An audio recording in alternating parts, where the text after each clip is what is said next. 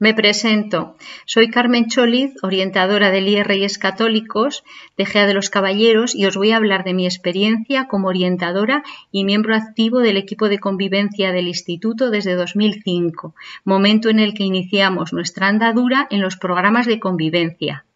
Un hecho objetivo que se produjo enseguida para gran satisfacción de las familias y del equipo directivo fue que se redujeron rápidamente y de manera considerable los expedientes disciplinarios, pasando a tener en 2004-2005 32 expedientes, algunos de ellos por presunto acoso, a tres y menos de tres desde 2006-2007 hasta nuestros días. Pero siendo este uno de los aspectos que más nos preocupa al profesorado no es, a mi opinión, el indicador más importante para valorar la buena convivencia en un centro educativo. Como orientadora y dentro del plan de orientación y acción tutorial, me impactó cómo también rápidamente mejoró el indicador participación del alumnado en el centro. Y es que la convivencia positiva requiere un cambio de chip creerse que la gestión de la convivencia y de la disciplina no es tarea únicamente del profesorado ni de jefatura de estudios, sino que es responsabilidad de todos los miembros de la comunidad educativa, especialmente del alumnado. Cuando se les da protagonismo al alumnado, se les empodera, se les hace responsables de la buena convivencia a través de los programas de ayuda entre iguales, el alumnado responde muy positivamente y se implica de una forma extraordinaria.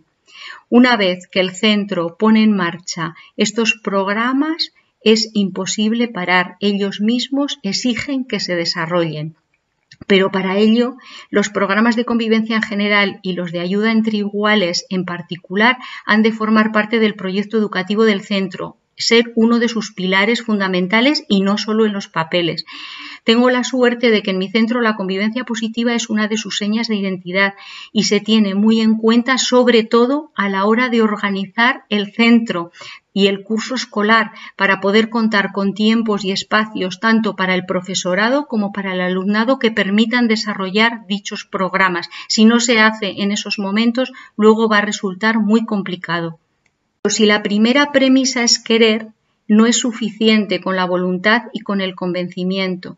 Es imprescindible la formación para poder desarrollar estos programas y cualquiera del plan de convivencia.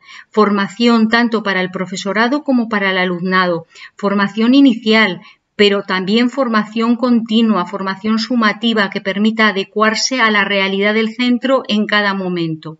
Necesitamos una formación en educación emocional, en habilidades sociales, en comunicación y escucha activa, pero también en estrategias para ser un buen compañero o compañera ayudante, mediador, hermano mayor, y no solo para el alumnado, sino también para el profesorado que les acompaña y les coordina y tiene que ser continua y adaptada porque el centro educativo es dinámico y cambia cada curso escolar en cuanto cambia su alumnado y su profesorado. Y he querido insistir en este aspecto porque un centro en el que la convivencia positiva es un valor tan importante como para organizarse en torno a él, es también un centro protector contra el acoso escolar asumimos que vamos a tener conflictos, porque como dice Galton, el único ser humano que no tiene conflictos se llama cadáver partimos de que se van a producir situaciones de acoso y por ello dentro de los programas de ayuda entre iguales nuestro objetivo será detectarlos e intervenir.